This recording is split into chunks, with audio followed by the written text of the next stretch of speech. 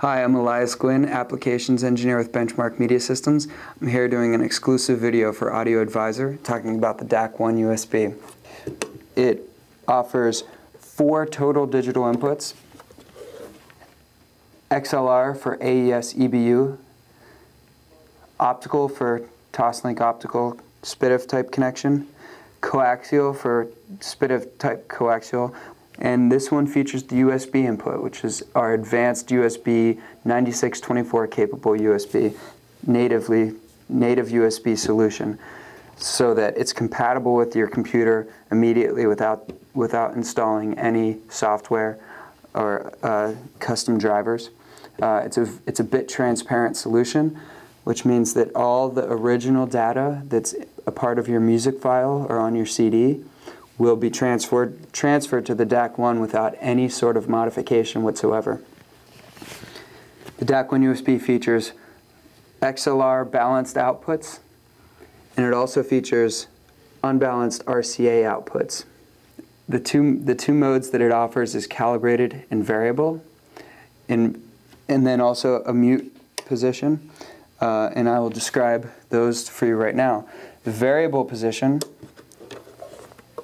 allows you to use the front panel true analog volume control to control the output level of the device. When it's in fixed calibrated level, you will get a constant level output, which will which is better served for if you're using a, a separate preamplifier. The DAC1 USB can be used as a preamplifier. It can be used, it can drive an amplifier directly and the volume can, can be controlled using this front panel volume control. The front panel volume control always controls the volume of the built-in HPA2 headphone amplifier. The HPA2 headphone amplifier is our proprietary headphone amplifier. It's, it's should be noted for its zero ohm output impedance, which means that it can drive any headphone amp, any type of headphones, any impedance without having severe distortion. The input switch switches between all the different inputs of the DAC1 USB. We have, again, the XLR, the Toslink optical, the coaxial, and then the USB. The DAC1 USB is especially well noted for its immunity to jitter. It achieves this through an internal clocking mechanism called ultralock. The way ultralock works is it takes the digital samples from the source, from the incoming stream, it puts it in a buffer and holds it there so that the incoming clock is completely removed and completely isolated from the conversion system. And then an internal clock that's built with extremely low jitter and that's only a millimeter away from the DAC chip itself will determine the, the time that the samples get pulled out of the buffer. And by using our own internal clock, to pull those samples out one at a time. They have lower jitter than any source can achieve.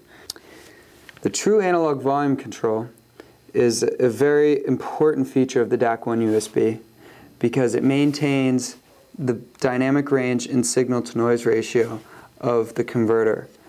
Digital volume controls will limit your dynamic range and your signal to noise ratio. And uh, analog volume ICs will, can cause severe distortion and noise because you're trying to pack too much circuit into a single chip. This is a true analog gain control. This is the ideal way to control volume. The analog circuit of the DAC1 USB has a 500 kilohertz bandwidth. This, this allows ultrasonics to pass through cleanly whereas otherwise it could be distorted and folded back into the audio bandwidth as intermodulation distortion. The DAC1 USB features uh, new op amps in the output stage. Uh, these new op amps are the newest feature, uh, the newest offerings from National Semiconductor. They're called LM4562. They're worth looking into. They're a great part. Uh, they they contribute to the sound if uh, because they allow the DAC1 USB to lower the output impedance, which will, in effect, uh, maintain your high frequency performance.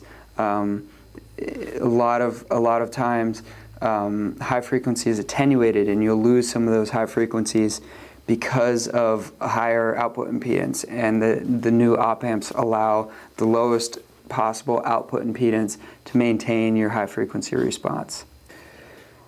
The USB input on the DAC1 USB is a, is a proprietary USB interface called Advanced USB.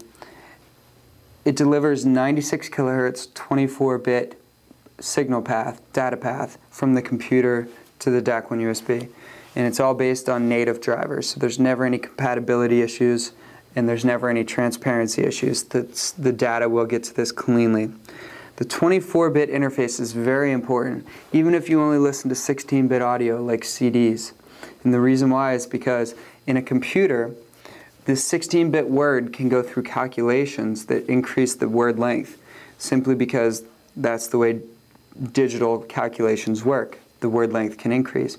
The problem with that is that if the, if the path is limited to 16-bit, you can truncate the last 8 bits, and what that will do is that will increase digital distortion in the audio.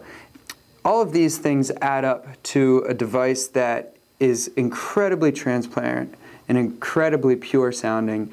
And in fact, it will stand up to any DAC at any price point. It is one of the most transparent and high performing DAC on the market.